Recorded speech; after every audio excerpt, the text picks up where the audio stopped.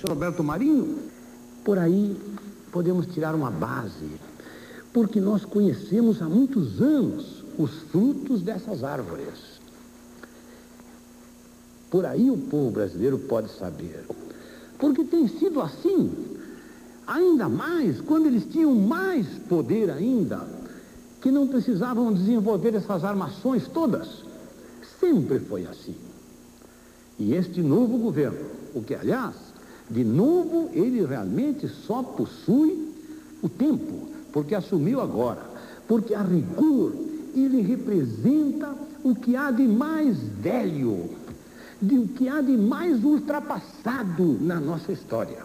Embora se apresente com uma imagem parecendo um governo de inovações.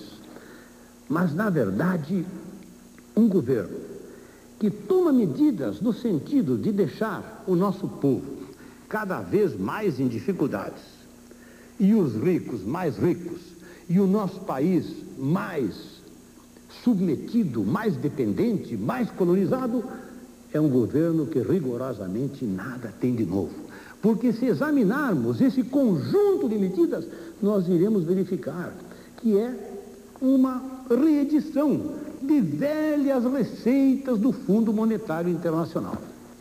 Mas há um outro aspecto que também dá uma ideia, isto sem necessidade de entrar no mérito desse plano.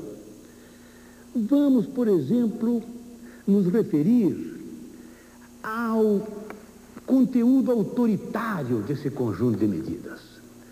Os métodos, as práticas adotadas pelo governo para colocá-lo, para executá-lo. Vocês viram que foi elaborado entre quatro paredes, ninguém participou, não houve discussão. Segundo, através de 23 decretos-leis. Porque estas chamadas medidas provisórias não querem dizer outra coisa senão os decretos-leis da ditadura. Decretos-leis alguns que estão escandalizando a consciência democrática deste país. Um deles, de delegação de poderes. O outro, como se fosse um novo AI-5 determinando que os atos do governo em relação ao seu plano econômico devem ficar fora da apreciação do Poder Judiciário.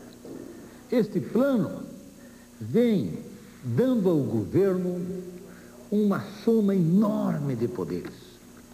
O Palácio do Planalto está se tornando um poder avassalador.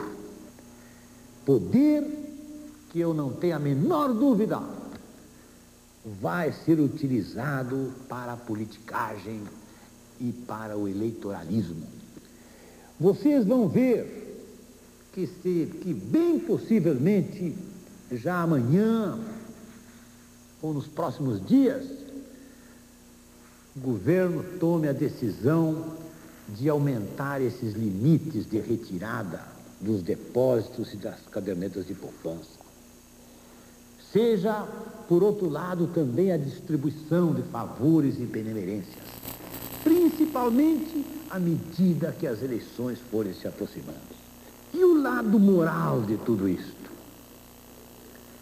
Como é que um governante pode proceder desta forma quando ainda ontem, como candidato, assumia solenemente perante o povo brasileiro o compromisso implícito e explícito de não tocar nas economias populares, na caderneta de poupança. Como é que agora, sem nenhuma explicação, da maneira mais fria e insensível, confisca praticamente a poupança em níveis que realmente atingem ao povo brasileiro e tocam num bem que até hoje era considerado um bem sagrado do nosso povo, a caderneta de poupança. Não estamos questionando as medidas tomadas em relação a outras áreas, outros setores, como é o caso de outras particularidades da especulação financeira, especialmente quando a partir de um certo nível. Mas esta da caderneta de poupança realmente constituiu-se numa iniquidade. E, no meu modo de ver, tirou completamente a credibilidade do novo governo. Quem vai acreditar agora em algum título, em alguma posição, na palavra do próprio governo? Eu sei que vocês aí no fundo estão me questionando com esta pergunta. Mas não era necessário fazer alguma coisa? Como poderíamos continuar dessa forma? Assume o novo governo, não devia ele tomar providências contra a inflação e contra a crise? Afirma o povo brasileiro que nós não estamos contra absolutamente a adoção de medidas. Ao contrário, nós estamos, como todos os brasileiros, clamando por providências contra esta crise, contra esta, estes níveis de inflação que estão tornando a vida em nosso país impossível. Agora, não podemos apoiar e estar ao lado de medidas que já se revelaram inconvenientes, negativas, prejudiciais.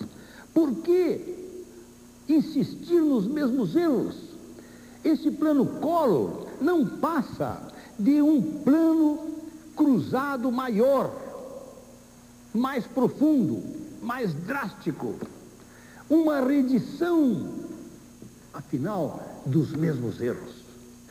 Eu sou um convencido que nesses últimos tempos o governo Sarney agravou a inflação.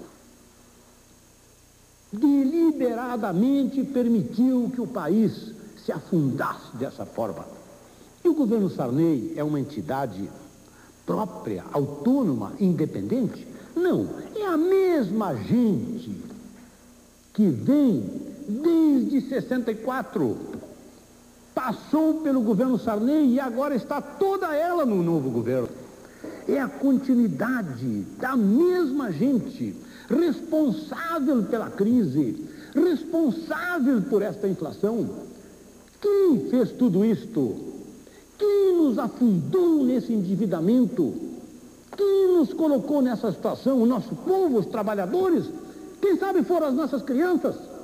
Foram eles próprios.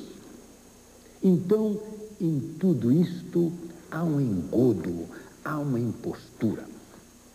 É contra isto que eu me expresso com certa indignação, porque no fundo estão enrolando o nosso povo.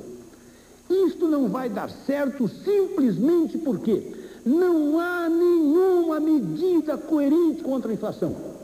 Estão tratando só dos seus efeitos dos sintomas de uma doença profunda que se recusam a reconhecer e a tratar. As causas profundas, verdadeiras da inflação e da crise estão nas chamadas perdas internacionais.